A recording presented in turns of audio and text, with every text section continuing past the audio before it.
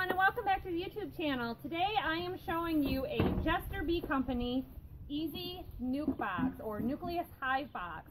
This is a five frame portable box which is really good if you are picking up or selling or just raising nucleus beehives. This is a corrugated plastic so it's really good for um, durability.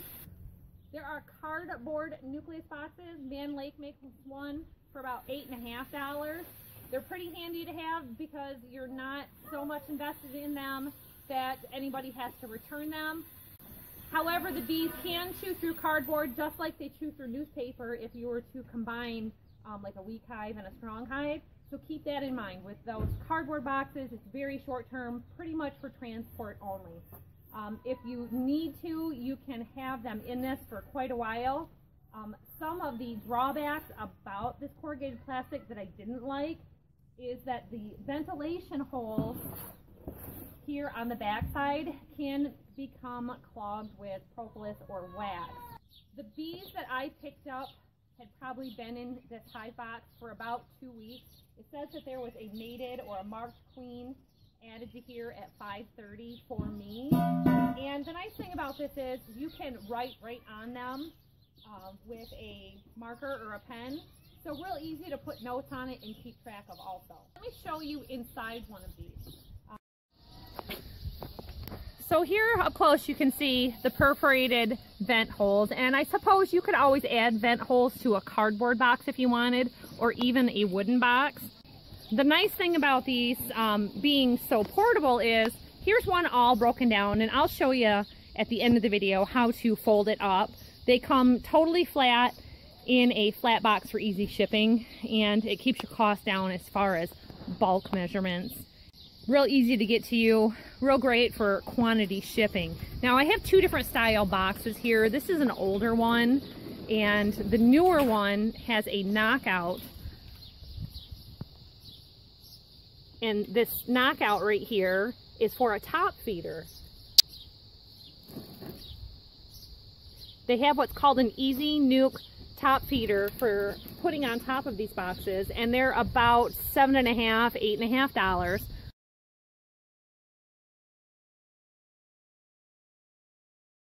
Real handy to have for feeding any of your nucleus hives because quite often they do need that.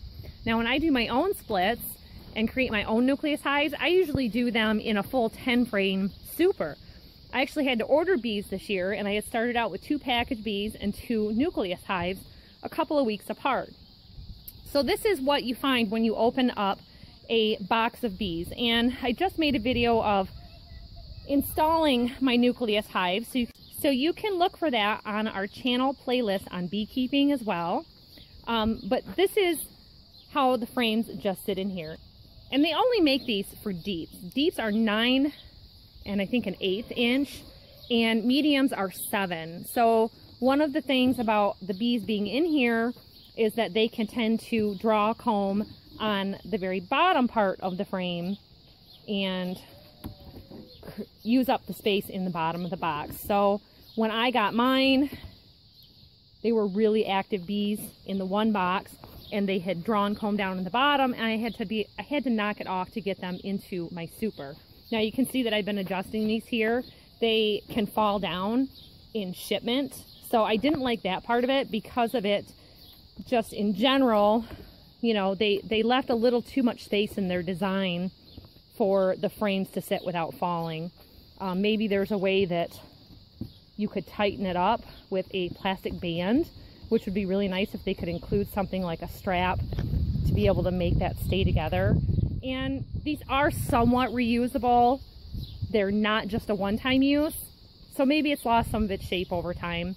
Um, these are loaners for me bringing my bees home and I'm going to return them. So to show you inside here, I'll take my frames out and keep in mind these are mediums. So look how much room here you have. And they leave you about a three quarter of an inch space from the top of the frames and the bottom of the frames so that you have space for feeding your nucleus hive like bee patties. So that's good to have also.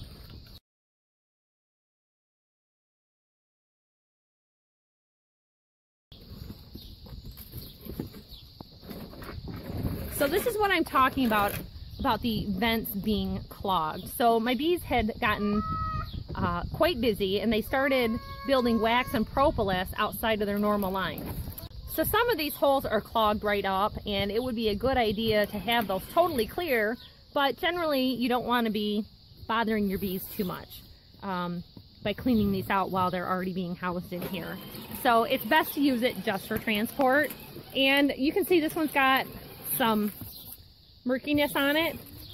After I had installed my bees, I left this out because there were quite a few um, live bees on a bunch of the wax that I had knocked off. So I just left them there to find their new home. So real handy to have, easy for transport. And they have a nice little door here. This is what they call a locking tab door. It just pops up unfortunately, I had not had experience with this, and she had told me, you know, that they were ready for me to pick up and that she had it closed up. So that's how you open it up. I had only known to open the lid on top. Now, about the ventilation, maybe because they were kind of blocked, you can see there's ventilation holes here also where the cardboard box from Mann Lake doesn't have the perforation holes, they do offer a screen that you can add to it. And I assume that it is a knockout, just like the knockout on the lid for the feeder um, on the cardboard box here, and you can add a screen to it. Now it's not included, and they also don't include a plug for their entrance on theirs, and they don't have the entrance down here at the bottom on the cardboard box. It's just a hole about here, and they sell you a plug separately and the screen separately. So that's going to cost you close to a dollar for those two items in addition to the $8, eight and a half dollars that you pay for their cardboard box. So being that this is all one piece ready to go, it's a money saver in that way and it's not disposable and it's not going to get chewed up. So I think that's a good thing to have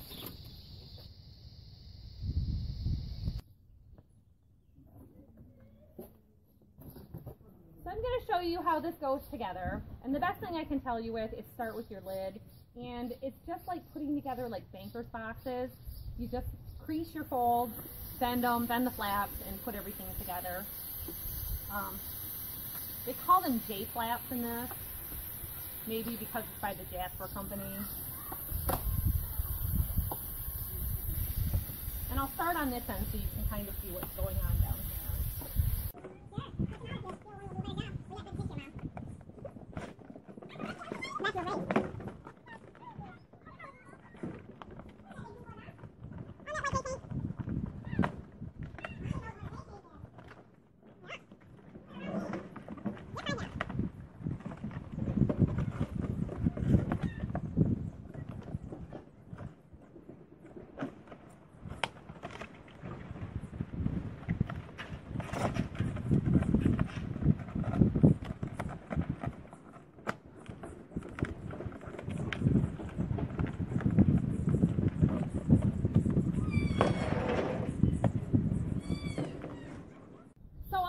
down in using these. I just got some prices written down here. Let me tell you a little bit. Now, because these are deep, uh, you can do actual wooden wares and do wooden bee boxes. If you can't make them yourself and you're having to buy them, a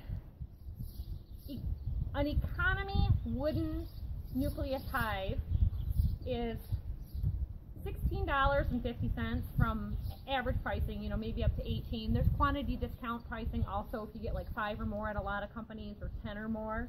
Um, and that is unpainted. So you spend about $22 if you want them painted.